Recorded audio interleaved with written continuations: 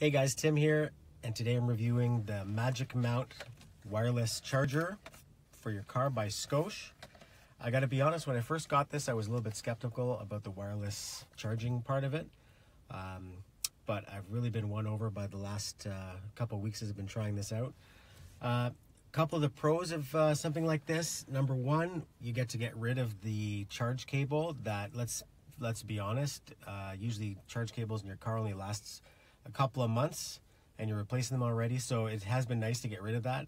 Uh, installation of this unit was really easy. Basically, just pop it out of the box, a suction cup on your dash. You can also do it to your window, or it does come with ad adhesive strips if you are really sure of the positioning where you want to put it.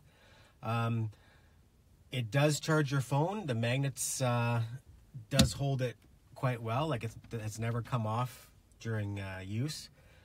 It um, it does take a little while to charge. That's one of the cons about wireless technology, and I think that's just across the board, is that it is a little bit slower than plugging uh, plugging a cord into your phone.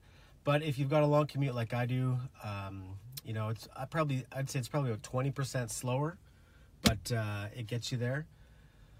Um, in terms of uh, cons, um, I know some of us don't like putting things on our phones. It came with two um, two adhesive backed, I guess they're um, metallic strips. If you want to put it on a case, uh, they recommend you put the two small ones. If you're going to put it directly to your phone, which I know a lot of people may not want to do, it's a little bit of a bigger uh, pad.